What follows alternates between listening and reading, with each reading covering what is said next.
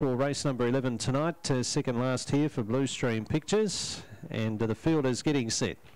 Almost right. In fact, the green light's on now. They're all locked away, set for race 11 tonight. Lure's rolling.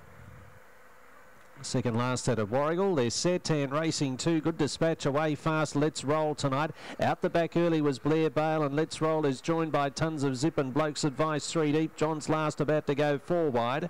Then Aston Rum going up for runs on the inside. A gap to Ellie Spence and back to last was Blair Bale. They swing for home across the track. Tons of zip struck the front. Coming through was Aston Rum. Late tons of zip. Aston Rum tight. Oh, maybe Aston Rum a nostril from uh, either Ellie Spence flashing or tons of zip in a very busy finish here. Now in behind those runners we had uh, Let's Roll wider out a gap to Blair Bale. John's last was well back and Bloke's Advice in 22.72.